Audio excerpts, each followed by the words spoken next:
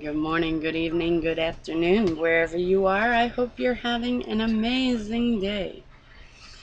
It is June 13, 2013. It is now 8 a.m. Woohoo! Do you make excuse? Are you a person who loves making excuses? Okay, here's the thought of the day. With every assignment, God also gives us abilities to accomplish them. Every assignment God gives us, He gives us abilities to accomplish them. So if He tells you, I think I want you to take over the adult Bible study, He's going to give you the abilities to take them over. Whether it's sitting in the adult Bible studies, learning what you're going to be doing, going to the nursing homes, and, uh, you know, like that, and learning.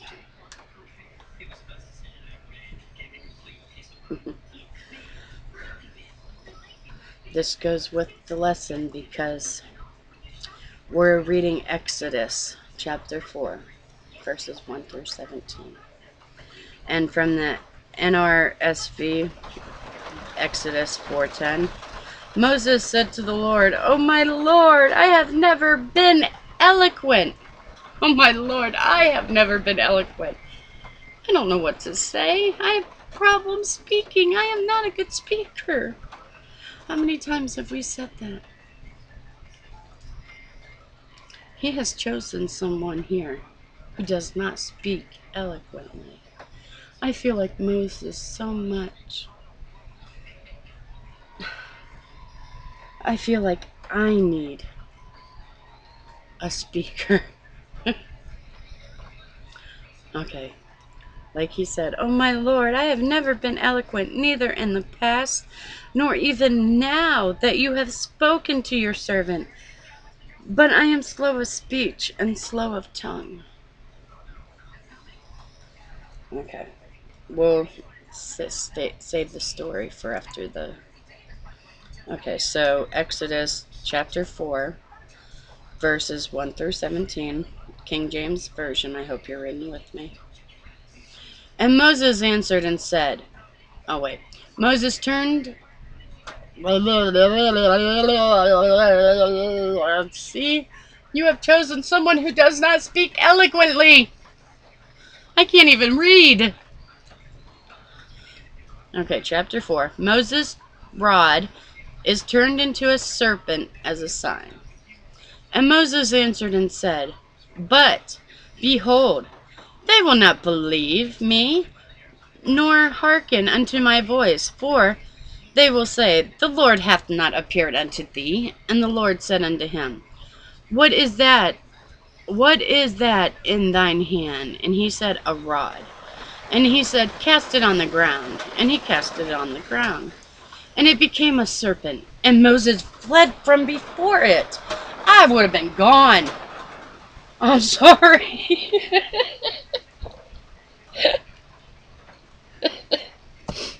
I'm sorry, God, but if you would have turned my rod into a serpent, I would have been gone. I'm dead. I'm not deathly afraid of snakes, but I cannot stand them. They startle me when I see them, and I do kind of jump. Yes, I will admit it. I, it's not that I'm afraid of them. I do not like them. I hate snakes. I don't fear them. I fear the bite of them, but I do not like them. Okay, so I would have done the same thing. Verse 4 And the Lord said unto Moses, Put forth thine hand, and take it by the tail. And he put forth his hand, and caught it, and it became a rod in his hand. And they, that they may believe that the Lord God of their fathers, the God of Abraham, the God of Isaac, and the God of Jacob hath appeared unto thee. And the Lord said furthermore unto him, Put now thine hand into thy bosom. And he put his hand into thy bosom. And when he took it out, behold, his hand was leprous as snow. And he said, Put thine hand into thy bosom again. And he put his hand into his bosom again, and plucked it out of his bosom, and behold, it turned again into his other flesh. 8. And it shall come to pass, if they will not believe thee, neither hearken to the voice of the first sign, that they will believe the voice of the latter sign. And it shall come to pass, if they will not believe also these two signs, neither hearken unto thy voice, that thou shalt take of the water of the river, and pour it unto the dry land, and the water which thou takest out of the river shall become blood upon the dry land. He is reluctant to be sent, and Aaron is appointed to assist him. Moses is reluctant to be sent. So God appoints Aaron to assist Moses. Verse 10 And Moses said unto the Lord, O my Lord, I am not eloquent, neither heretofore, nor since thou hast spoken unto thy servant, but I am slow of speech and of slow tongue. Now I see why they put the NRSV version in there, because it goes into more detail. And the Lord said unto him, Who hath made man's mouth? Or who maketh the dumb, or deaf, or the seeing, or the blind? Let me repeat that. Listen to this. And the Lord said unto him, Who hath made man's mouth? Or who maketh the dumb, or deaf, or the seeing, or the blind? Have not I the Lord? You understand that, right? 12. Now therefore go, and I will be with thy mouth, and teach thee what thou shalt say. And he has, you know, made me blah, blah, blah. The words, not mine, his many times. Watch some of my videos.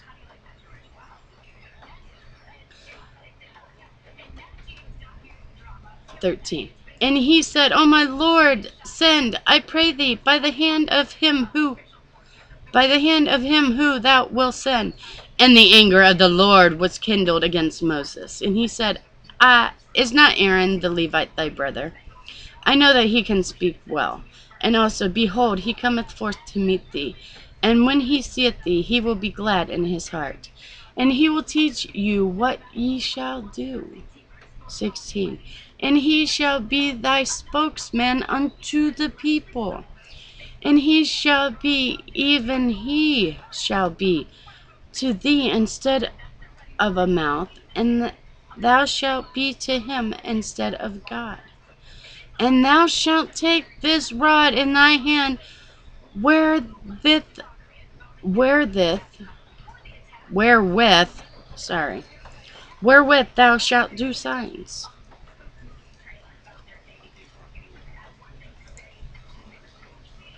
Mm-hmm. Okay. When Moses was called by God, Moses' first response was, Who am I that I should go to Pharaoh and bring the Israelites out of Egypt? Exodus 3, verse 11. God then countered all of Moses' objections about his mission. God gave him power to perform miracles and promised to go with him and teach him what to say. Moses was still not willing and wanting and wanted someone else to be given that job.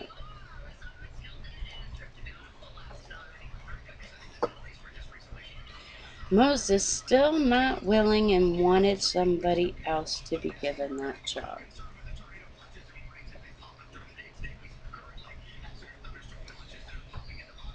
Ooh, feel those goosebumps just rolling across the body as if the Holy Spirit's like, uh, remind you of somebody?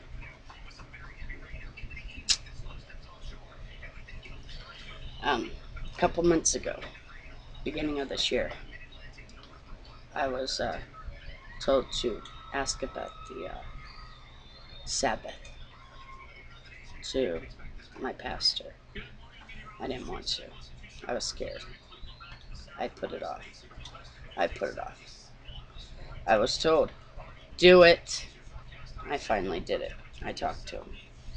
He didn't understand, you know. I was like, okay, I do what you wanted me to do. I talked to him.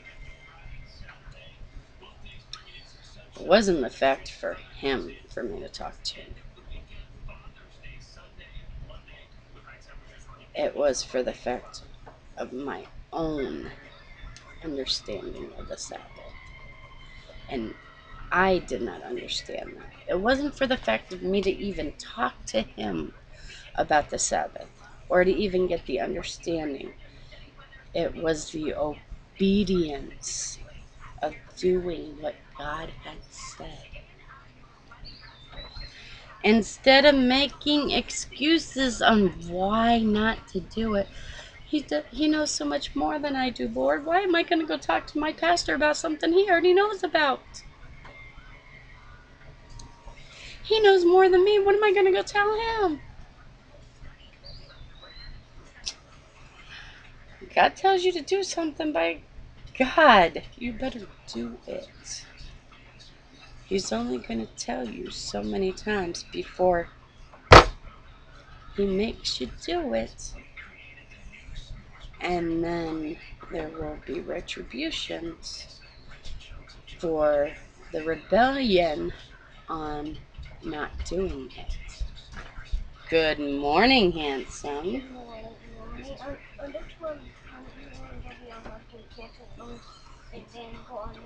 All right, give me a hug, you guys. Say hi. Say hi to the YouTubers. Hi, and I got my bus bus boom sword on on Prince of Persia Center time. Did you? Yep, last night. Good job. I was getting 24 when you were asleep, but I'm not at the book place yet. No, not yet. That's the boy I get the boom sword. That when you can just bust through a wall with just one hit. All right, let me finish The, this. the one with the cracks in them. All right, go play your game. So you need to brush your teeth. You got some morning breath. All right. So God was angry, but then commissioned Aaron to speak for Moses. and it goes on telling about his, you know, the writer's situation with God, which I pretty much did the same thing. Um, do you think of any time that God's told you to do something and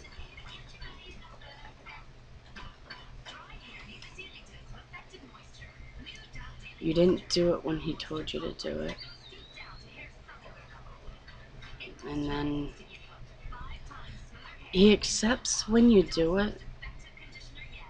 He accepts the fact that you're doing it but not the fact that you're doing it on your time. He wanted it done on his time, not your time.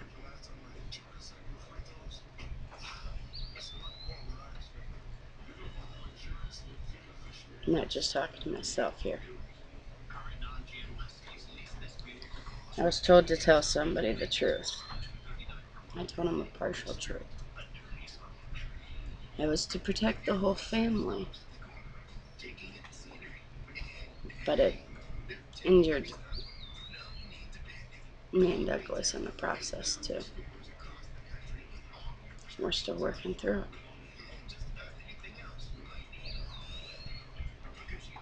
It's still hard on him when I told him the complete truth. We're still working.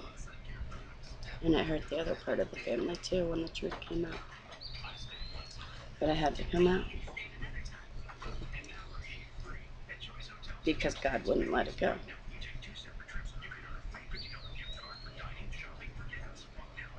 God tells you to do something. Don't make excuses. Get it done.